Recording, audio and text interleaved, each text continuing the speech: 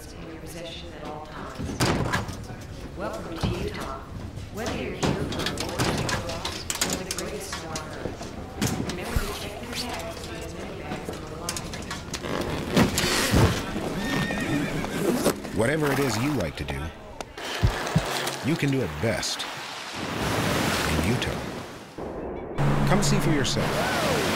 Request a travel guide at www.utah.travel.